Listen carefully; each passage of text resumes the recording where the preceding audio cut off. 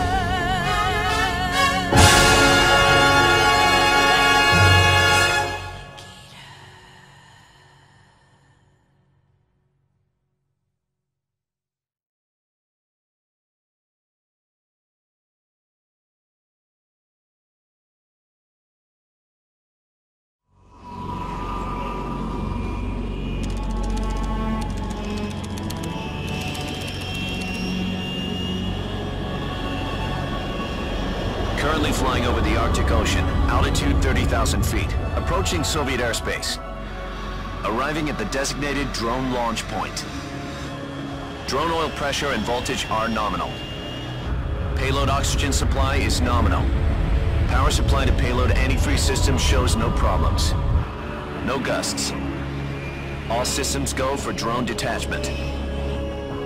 Snake, we can't risk a halo jump this time around.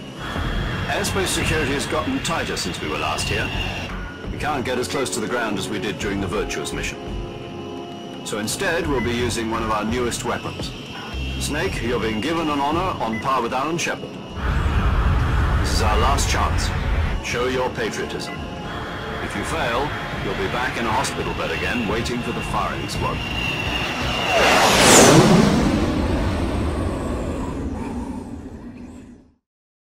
So how does it feel to be a patient in one of the most advanced ICUs in the world? Would you do me a favor and tell the suits about visiting hours? I'll never get better with them assaulting me day and night with their questions. Must be part of the top brass's inquiry. More like an interrogation. According to them, I'm a traitor and an accomplice to the boss's defection. They're just looking for a scapegoat. Does that mean they're after you too? Hmm. Let's just say neither one of us is going to be made a national hero out of this. Does this mean Fox is going to die? No. This fox is still one step ahead of the hounds. The reason I came to see you today... Jack, it's time for Fox to clear its name. What are you talking about? The situation has changed.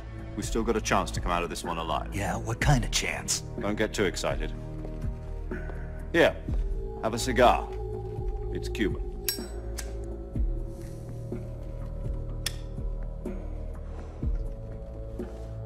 This morning, I had a meeting with the CIA.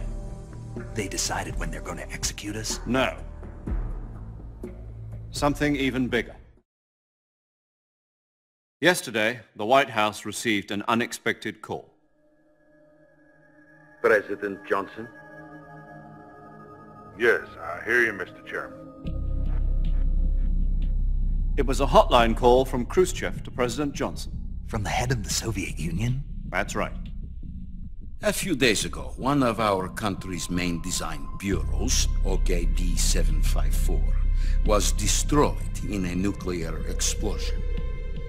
At about the same time, our anti-aircraft radar picked up a signature that appeared to come from one of your military aircraft. Does any of this sound familiar to you? In retaliation, I have placed our armed forces on secondary alert.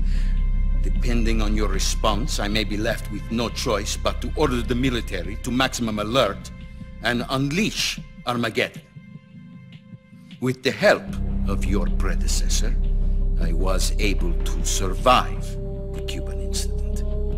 But my power is not as great as it once was. If I am to survive this crisis, I must have your full cooperation. I should have contacted you myself. Did you know that one of our soldiers defected to your country a week ago? No. So you haven't heard then. The man who arranged the defection was a GRU colonel by the name of Yevgeny Borisovich Volgin. Volgin. Of the Brezhnev faction. Go on. Who is the soldier? Her name is the Boss. She's a living legend. During World War II, she was the one who led us to victory in that war. In Russia, you know her as Voyevoda. You mean... the boss? The mother of your special forces? Yes, that's the one. And she took two miniature nuclear shells along with her. The boss took two miniature nuclear shells. I'm afraid so. I believe they were a gift for her new hosts. The Davy Crockett Atomic Battle Group delivery system was completed two years ago. But serious problems were found with the launcher's range and precision. Although they were mass-produced, they've never been deployed in battle. But Sokolov's research facility was completely wiped out. The whole area is polluted. I can only offer you my deepest condolences over this terrible tragedy. So, the boss, with Colonel Volgin's help, stole two experimental nuclear shells and took them with her as gift when she defected. Then, shortly thereafter, Sokolov's design lab, a top-secret military research facility, was destroyed by one of these weapons. Am I right so far? Yes, that's correct. And the American government denies any involvement in the affair. Is that right as well? That's correct. We were not involved in any way. Then what was a US military aircraft doing on our radar screen? It was clearly in a violation of our airspace. And yet you say it was not acting under your orders. That's correct. You expect me to believe that this was all the work of a single soldier? I don't know what else to tell you.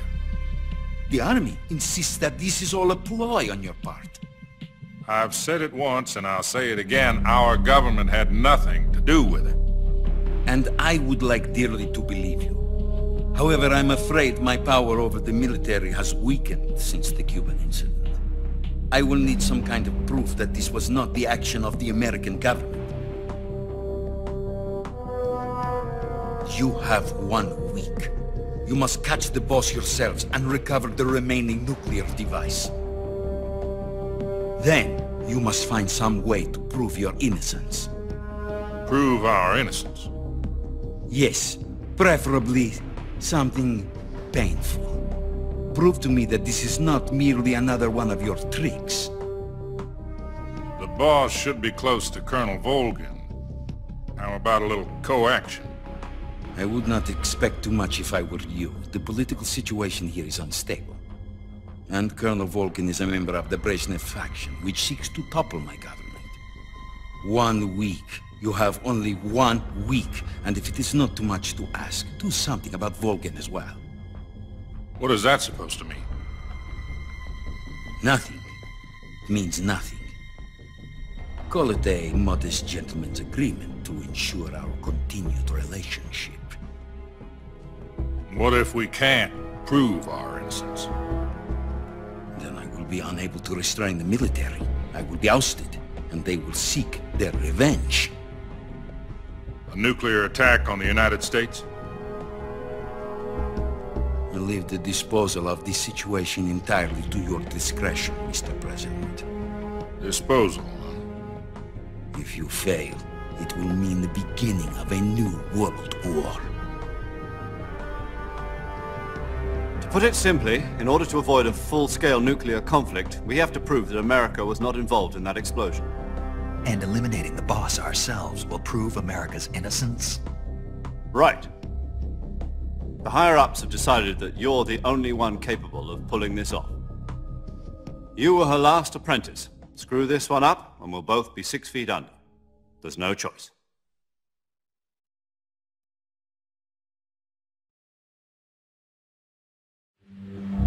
Are the Russians going to be helping us?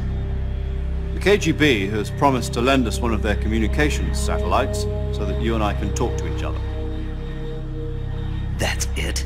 They've also put us in touch with a couple of insiders. Insiders? There was a defection in September 1960.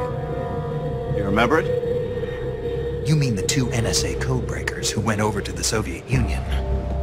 Precisely. Since then, they've apparently been training with the KGB for exactly this kind of situation. Their code names are Adam and Eva. I've been told that Adam has infiltrated Volgin's ranks. I've also arranged for him to provide you with an escape route. You'll need to rendezvous with him when you get there.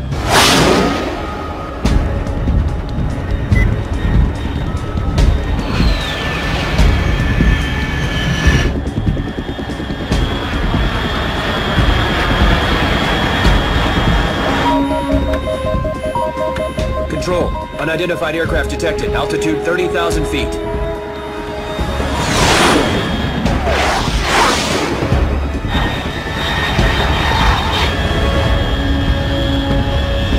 It's fast. Estimated airspeed exceeding Mach 3. Bearing south. I'm about to lose it.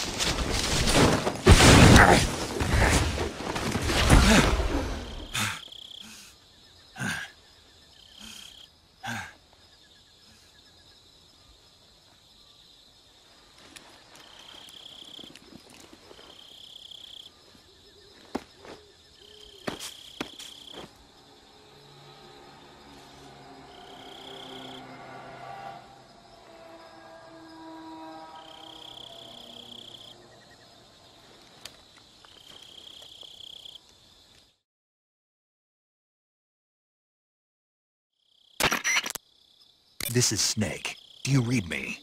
Loud and clear. Glad to see you landed safely. I got blown pretty far off target. Snake, let's go over your mission objectives one more time. Rescue Sokolov. Find out what's happened to the Shagohod, then destroy it. And finally, eliminate the boss. Eliminate the boss. This mission will be codenamed Operation Snake Eater. Because I'll be taking on the boss in our Cobra unit, right? Don't forget about Colonel Volgin. I'm not a hired killer. I know, but that was the Kremlin's demand. Demand? You mean it wasn't just a request? What's it to us if the Khrushchev regime is threatened by the Colonel and his faction? If supporting the current regime helps us avoid a nuclear exchange, then that's what we'll do. And what are the CIA's demands? Our priorities are the rescue of Sokolov and the destruction of the Shagohod. Roger that, Major Tom. Hold on, Snake. What now? I'm changing my code name. It turns out Tom wasn't the most auspicious choice. What do you mean? Well, the truth is, when I chose my code name, I picked the wrong one. The wrong one. Did you ever see the movie The Great Escape? It came out last year. Oh, must have missed that one. Anyway, it's based on a true story about prisoners who escaped from a POW camp in Nazi Germany. The prisoners dig three tunnels as part of their plan, but the Nazis find two of the tunnels before they're finished. The prisoners succeed in escaping by using the last remaining tunnel. The names of those three tunnels were Dick, Harry, and Tom. I get it. You used the name of the tunnel they escaped in as your code name because you thought it would bring you good luck. Yes, that's exactly right. At least, that was the plan. But But I got the name wrong. The one they escaped in was Harry. Tom was one of the unlucky tunnels. It was discovered by the Nazis before it was finished. I watched the movie again just to make sure. In fact, I even ordered the actual film from the movie company. yeah, it doesn't sound like the greatest name to use. So what should I call you? Hmm.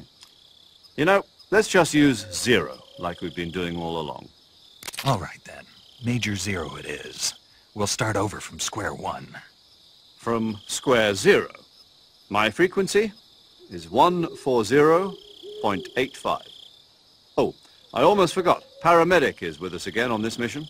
Is this her last chance too? If we fail, she'll have her medical license revoked. It's more or less the same kind of fate. Her frequency is the same as during the Virtuous mission, 145.73. She'll be recording your mission data as well, just like the last time. That frequency is also the same, 140.96. And there's one more person on your support team. His name is Mr. Sigint. He's an expert on the latest in weapons and equipment technology. You'll be going up against some of the world's most advanced weaponry when you infiltrate the research facility. If you have any questions, just ask him. His frequency is 148.41. Mr. Sigint. Got it. Adam, your KGB contact, is waiting for you at the abandoned factory up ahead. The same factory Sokolov was being held in last week. Yes, meet up with Adam first. He's cleared the way for you to rescue Sokolov. How will I know this Adam guy when I see him? You'll know once you reach the factory. The whole area's been polluted by the fallout from that nuclear blast. No one else would dare come close. The password is, Who are the Patriots? and Lali Lulelo. Lali Lulelo. Gotcha. You've been equipped with a 45 for this mission. Be careful, it's noisy. I thought standard Fox procedure was procure on-site weapons acquisition. The circumstances are different this time. You're now on an official mission for the United States government. It would be necessary to make your presence known to a certain extent, to the Khrushchev regime at the very least. But remember, this is still a sneaking mission. Snake, if you fail this mission, it will mean an all-out nuclear war. Keep that in mind and proceed with extreme caution. Understood commencing Operation Snake Eater.